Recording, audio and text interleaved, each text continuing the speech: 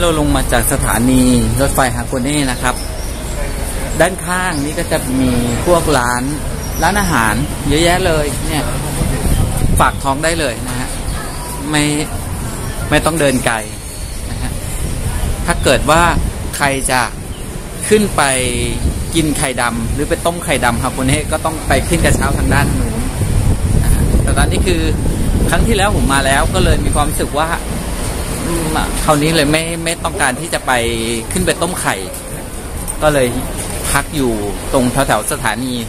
รถไฟนะฮะ แล้วก็เดี๋ยวจะไป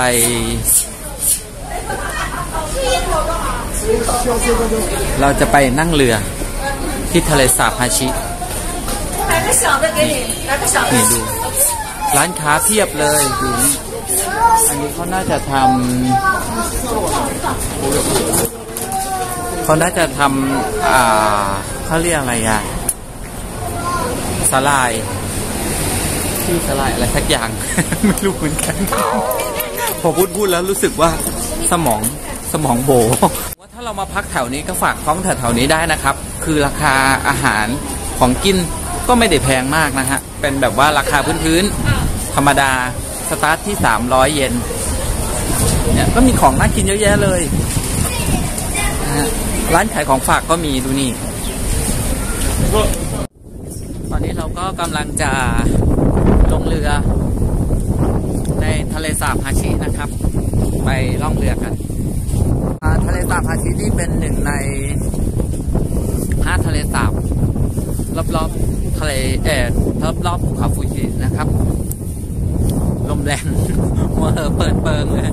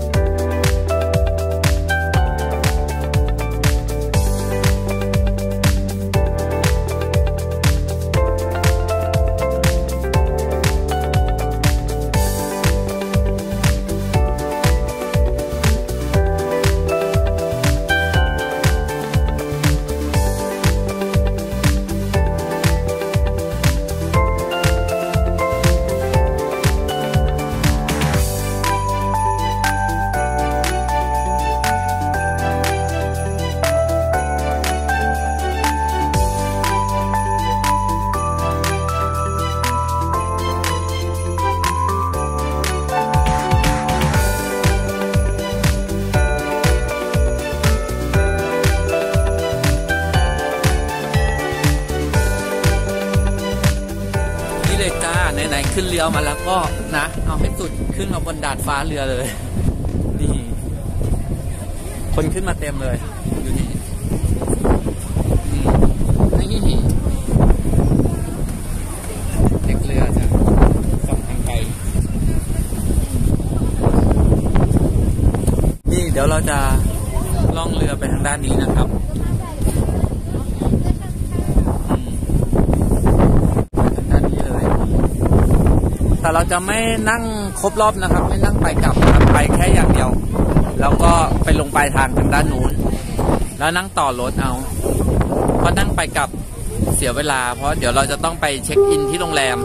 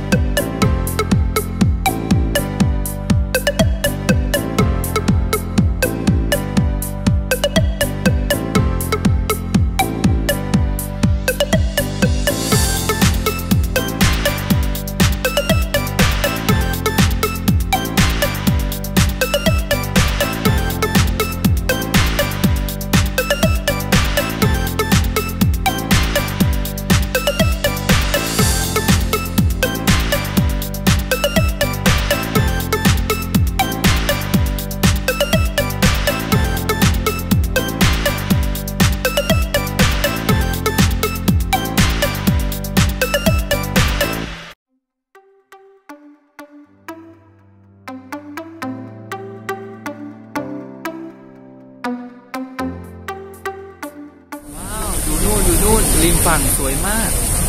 นี่นะฮะนี่นี่นี่นี่นี่นี่อยู่นี่ บ้านเรือนทรงญี่ปุ่นอะ สวยหลังคาสีเขียว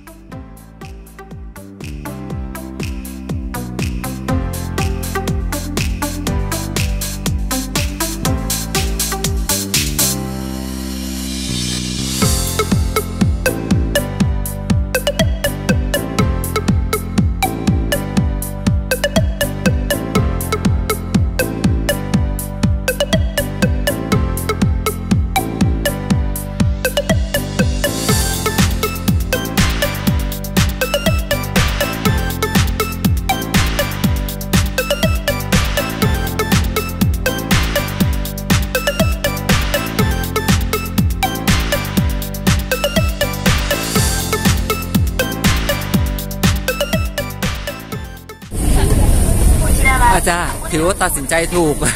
ที่นั่งแค่เที่ยวเดียวไม่นั่งไปกลับนะจ๊ะ ถ้านั่งไปกลับนี่ท่าทางจะบะจะอ่าน่าจะชาหรือหน้าด้านกันเลยทีเดียว โอ้โห ลมเย็นมาก ลมแรงมาก หน้าชากันเลยอะ นี่จ้าเรือด้านหลัง แล้วเราก็ได้นั่งเรือสำเร็จตาม วัตถุประสงค์ไปอีกหนึ่งภารกิจนะจ๊ะ